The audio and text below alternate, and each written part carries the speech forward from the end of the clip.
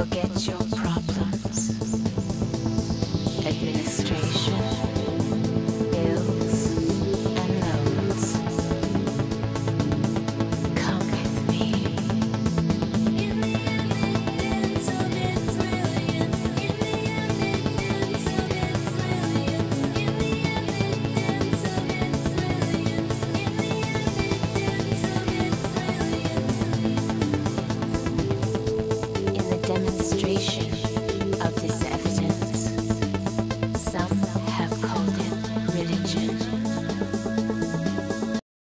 This is not a coincidence.